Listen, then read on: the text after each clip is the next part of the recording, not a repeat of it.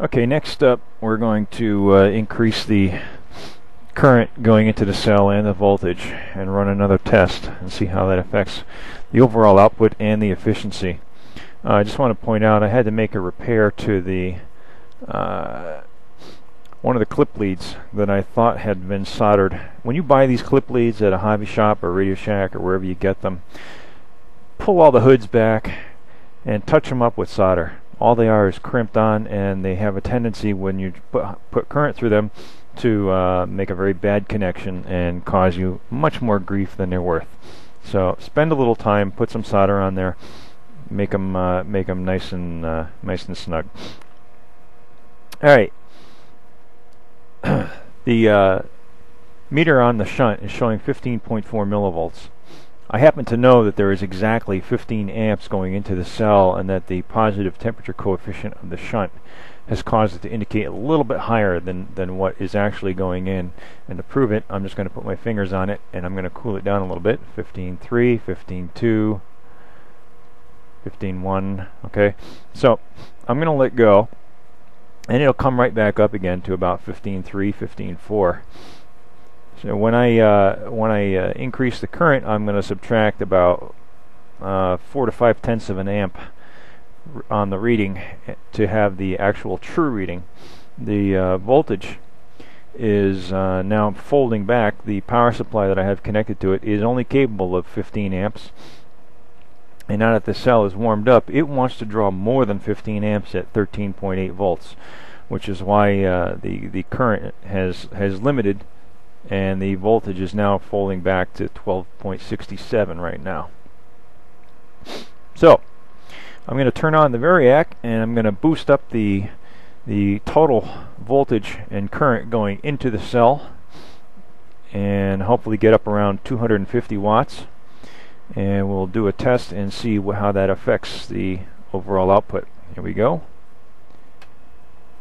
Alright, we have 20 amps now going into the cell. Subtract a half an amp, so call that 19.5 at 13.22 volts. I'm going to start the HHometer. One, two, three. Mark. And you can see that is rising pretty quick. 10 seconds.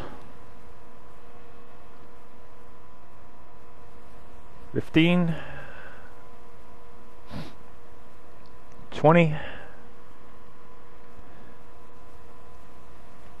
25, 27 seconds. Uh, all right, I got to turn that off now. I'm, I'm already smelling the Variac. It's only it's only good for five amps. You never know it, but based on what I'm doing to it. Anyway, 500 milliliters in 27 seconds. That's a little over 1 liter per minute. In just a second, I'll have the exact numbers for you. Okay, and the numbers are we had 260 watts going into the cell. I produced 1.111 liters per minute. At that rate, I had a efficiency of 4.27 milliliters per minute per watt going into the cell.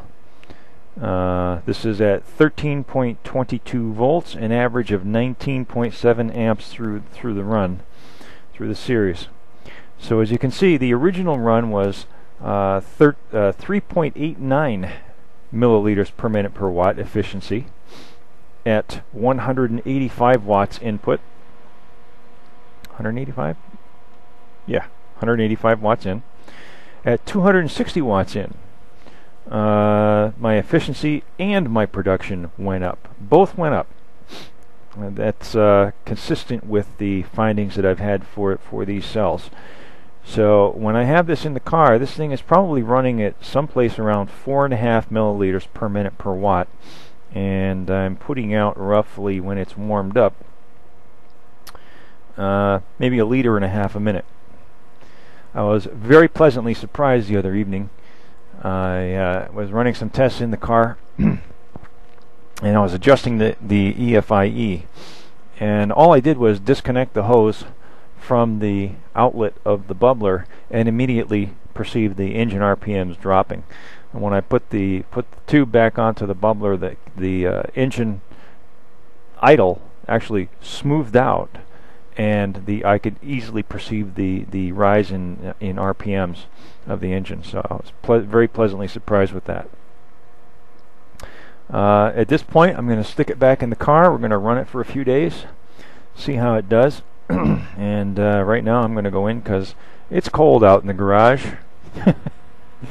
and it's raining outside right now, so uh, I'm going to call it a night. Zero fossil fuel.